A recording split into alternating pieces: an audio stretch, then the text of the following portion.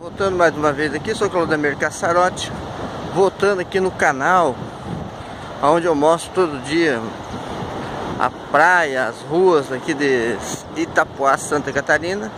Estou mostrando hoje que A prefeitura começou a fazer um trabalho Uma limpeza na praia que está ficando bonita. Então é interessante mostrar isso aqui agora também.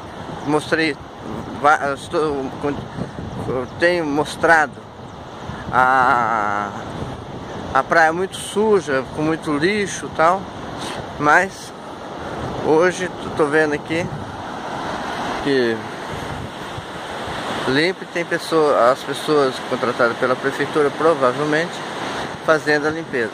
Isso é muito interessante, uma vez que está se iniciando o verão, então mostrando aqui que a prefeitura está fazendo o trabalho.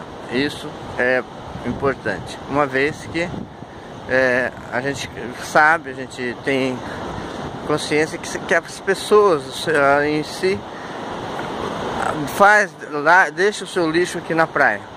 O que cada um deveria levar o seu lixo para casa quando saísse daqui não precisaria de repente ter esse tipo de trabalho. Mas infelizmente não acontece, né?